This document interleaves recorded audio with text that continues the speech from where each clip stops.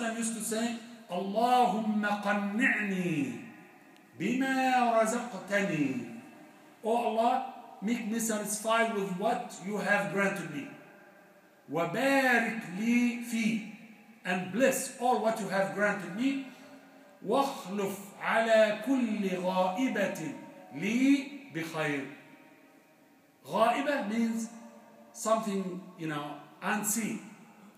Oh Allah subhanahu wa ta'ala, provide me with all good things. Especially save for me a great reward with you.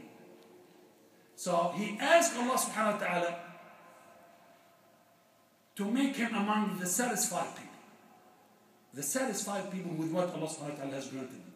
A month, two months, three months. And they never cook anything.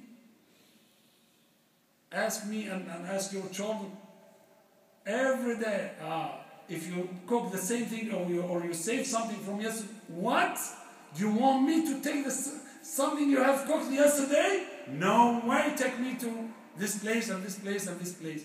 Even if you took them once to one restaurant next day, you want to, to, to go to the same place, same place? No way.